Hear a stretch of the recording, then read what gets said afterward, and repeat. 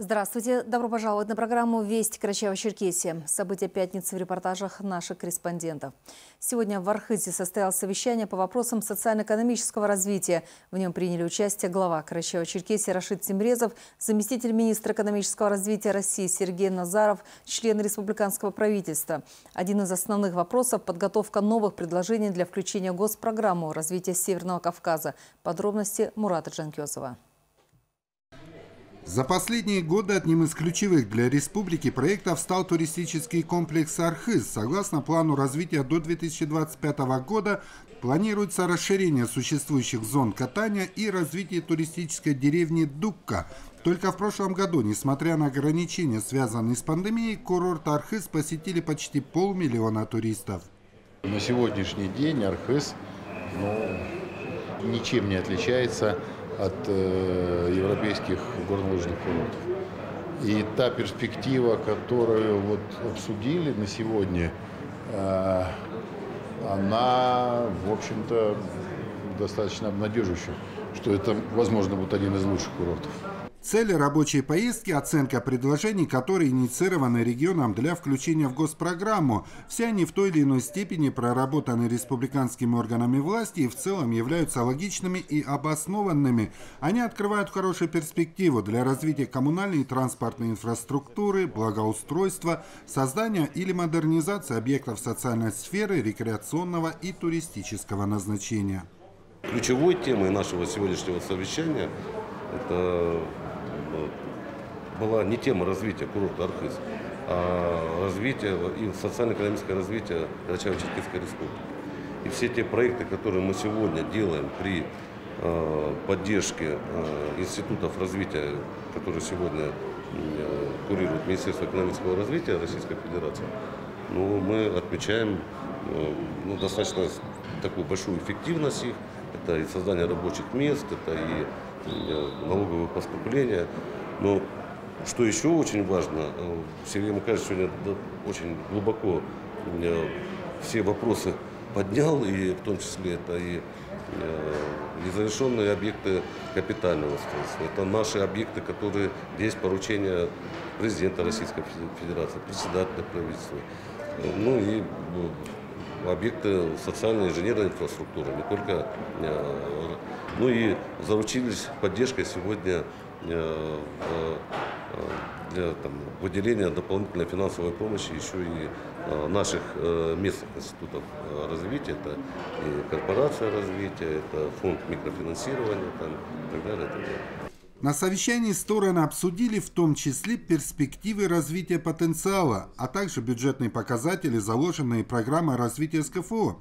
Как отметили участники встречи, перед республикой стоят важные экономические задачи, для реализации которых необходим двусторонний конструктивный диалог.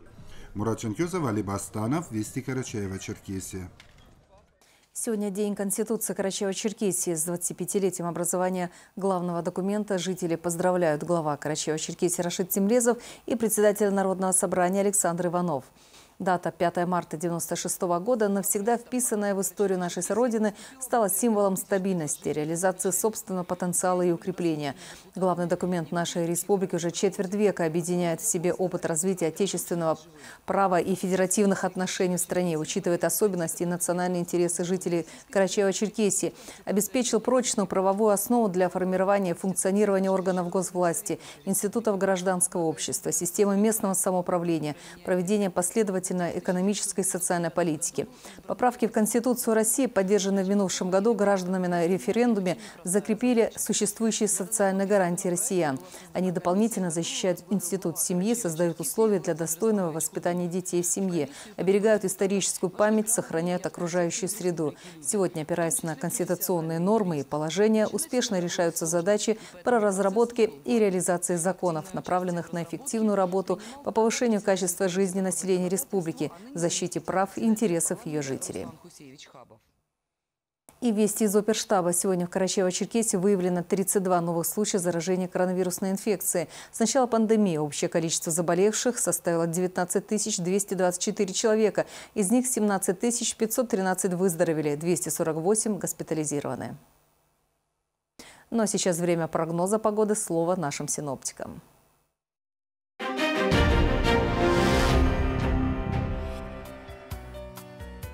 Карачаево-Черкесии без осадков, ветер западный 7-12 метров в секунду. Порывы до 15-20, днем в горах до 28. Температура ночи минус 3 плюс 2, в горах до 8 градусов мороза, днем плюс 11-16. В горах местами плюс 5 плюс 10. В Черкеске без осадков, ветер западный 7-12 метров в секунду. Температура ночью 0 плюс 2, днем 14-16 градусов тепла. Праздничная мега-акция в ветских мехах. Скидки до 50%. При покупке шубы куртка в подарок. Успей до 8 марта включительно. ТЦ «Панорама». Первый этаж. Весна будет чудесной. С Московским индустриальным банком. Рефинансируйте кредит по ставке не выше 8,8% годовых.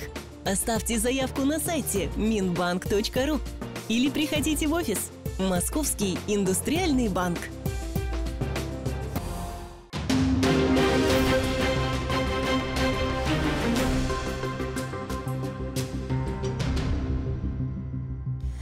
«Большие вести». В прямом эфире мы продолжаем. Новые форматы туризма на курортах Карачаева-Черкесии, как улучшить легендарное кавказское гостеприимство и что не хватает гостиничному сервису республики. Вызовы и тренды современного туристического пласта обсуждались на конференции «Хорека», которая прошла на всесезонном курорте Архыз. Профессиональное мнение экспертов и потребительско отдыхающих сравнила Фатима Даурова. Модератор конференции «Хорика. Инфраструктура региона. Тренды и вызовы-2021» Дарья Якимова считает, что платформу для проведения выбрали целенаправленно. Карачаево-Черкесия – регион, у которого есть все шансы стать одной из самых привлекательных туристических мек на Кавказе. Но все, что дано природой, надо умело облачить в комфортный сервис. Пока что курортам республики не хватает профессионально выстроенного гостинично-сервисного обслуживания. Чтобы ваше кавказское гостеприимство, ваше кавказское радушие а, было направлено на гостей региона. Ведь это нонсенс да, Кавказ. Это же гостеприимный Кавказ. Казалось бы, это у нас у всех на Кавказе записано на подкорке. Но когда мы начинаем оказывать услуги, возникают вопросы. И задача организаторов конференции очень точно скоординировать феномен кавказского гостеприимства с туристическим бизнесом и качественным предоставлением услуг. Представители индустрии гостеприимства республики в течение трех дней осваивали основные экономические и отраслевые тренды, узнавали у столичных экспертов, какие новые форматы туризма появились и как лучше наладить привлекательность и содействовать притоку туристов? Вопросов достаточно очень много. Допустим, интересует вот именно сейчас первый вопрос этой конференции. Действительно, мы не можем никак организовать досуг наших э, гостей.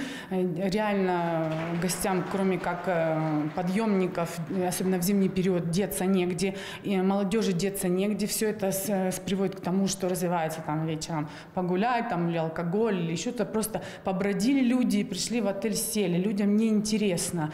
Досуговый пробел в предоставляемых услугах курортов отметил и министр культуры республики Зураб Агирбов. Вместе с коллегой по цеху, директором Черкесского театра Диной Аковой, он представил пакет предложений от учреждений культуры республики, который может охватить все возрастные категории отдыхающих. Если мы посмотрим наши курорты Архыз, Донбай, Тиберда, то увидим, что в них турист днем всегда находит, что делать. Это либо пешие прогулки, либо катание, если это зима, а вечером всегда есть пробел в его программе.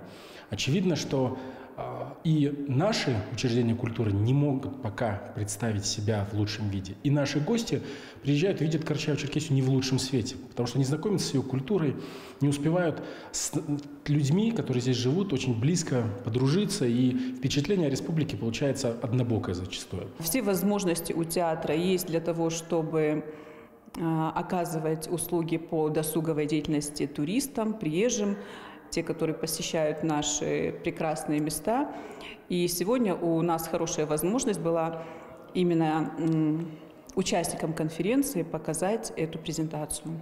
Тем временем поток туристов в романтике в этом году намного больше, чем в предыдущие, отмечают специалисты. Пандемия внесла свои коррективы. Отечественный туристический бизнес увеличил объемы доходов. Судя по очередям на подъемнике, нашему человеку уже не страшен ни вирус, ни недочеты в обслуживании. Сегмент хорика больше всего направлен на удовлетворение потребностей самого клиента, который платит не только за сам продукт, но и за сервис. И вот сейчас мы узнаем у наших туристов, довольны ли они предоставляемыми услугами и что бы им хотелось поменять. Вы довольны услугами, то, что вы здесь получаете? Да, безусловно, довольны, потому что номера здесь достаточно комфортные, погода отличная, склоны потрясающие. Мне очень здесь нравится. С точки зрения каталог мне очень все нравится, то есть потому что по соотношению Сочи здесь, наверное, комфортнее будет даже. Э, с точки зрения инфраструктуры и сервиса, конечно, надо развивать, особенно то, что касается общепита, потому что в общепит есть к чему стремиться. Вот. Ну и не говорю уже о сервисе такси, которые машины страшно ехать, даже вызывая. Чтобы доехать до Архиза самой каталки, то получается машины ненадлежащего качества и не обслуживаются вообще. Тем не менее, хочется к себе уважительного отношения. И соотношение, наверное, цены и качества, потому что мы готовы платить э, деньги, но при этом хотели бы за это получить должное качество. Вкусные хачины, аппетитный шашлык и горячий глинтвейн пока еще держат марку гастрономических предпочтений отдыхающих. Но тем не менее, если улучшить манеру подачи и качество обслуживания, наладить культурное сопровождение и эстетику, то долгожданный отдых для россиян и зарубежных гостей по качеству может дотянуться до желанных и признанных гостиничных звезд мирового масштаба. У курортов Карачаева-Черкесии есть все предпосылки для этого. Дело остается за желанием принимающей стороны стать лучшей в своей сфере. Фатима Дорова, Алибастанов, Вести, Карачаева-Черкесия, поселок Романтик. В стенах КЧГУ открылась выставка заслуженного деятеля искусств Кубани, члена Союза художников России Петра Шевчи... Шевчишина с символичным названием «Карачай в моем сердце». На полотнах изображены прекрасные пейзажи Домбая, Тиберды, Архыза, Махара и других живописных уголков Карачая. На выставке побывал Аслан Герюков. Персональные выставки именитых художников давно стали традиционными в Карачаево-Черкесском госуниверситете. Как и всегда, они проходят на базе Института культуры и искусств. Весь третий этаж украшен картинами Петра Шевчишина, который любит в своих произведениях описывать красоты нашей страны. Сегодняшнюю выставку он назвал «Карачай в моем сердце». Рассматривая картины автора, можно узнать родные края нашей прекрасной республики. Гуляя здесь, э, рассматривая его работы, получаешь э, ну, некий заряд и бодрости, и в то же время отдыхаешь душой. Это очень приятно. И редкое качество, что здесь не получается такого вот напряжения. Он с любовью к природе, и эта любовь сочится буквально с каждого полотна. Студентам Института культуры и искусств данные выставки помогают в работах. Во время создания своих произведений они опираются на опыт других мастеров. Каждый находит для себя что-то новое, что в будущем, несомненно, положительно отразится на их картинах.